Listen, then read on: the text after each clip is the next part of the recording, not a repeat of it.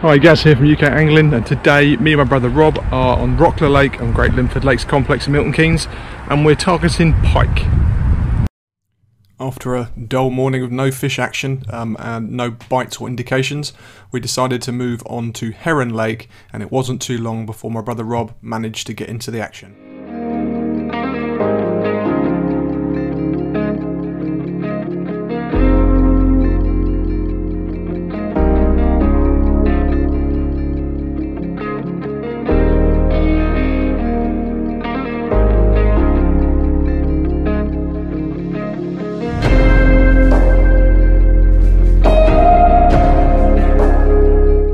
Just had this uh, nice little uh, six pound pike on a on a smelt.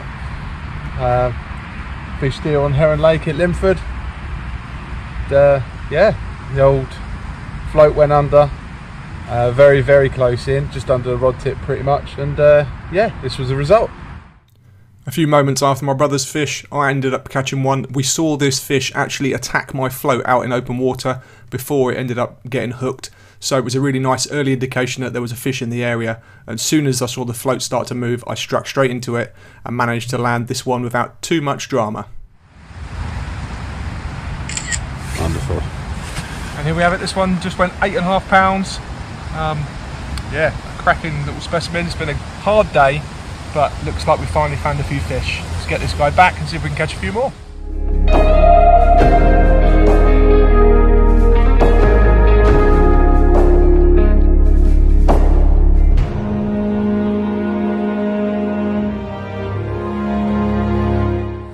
So in today's session I thought I'd quickly show you how we're fishing with, we're, we are float fishing for pike. So I'm using a two and a half pound test curve rod, I've got about 12 pound main line on and onto that I've slid a small float stop and down from that I've got a sliding pike float which will run up to the stop so you can set the depth. Down from that I've got a small buffer bead and then an inline weight. The, the float's about 30 grams and this is about 20 gram weight so it'll keep the float cocked. Um, and then down from there attached to the swivel onto a trace where I've got two treble hooks and for this one I've got a, a nice piece of smelt and the other rod I've got a piece of lamprey. I've just had that fish on the lamprey and it hit it really aggressively. It was one of those ones we were watching the floats and the fish actually attacked the float first before it hit the bait.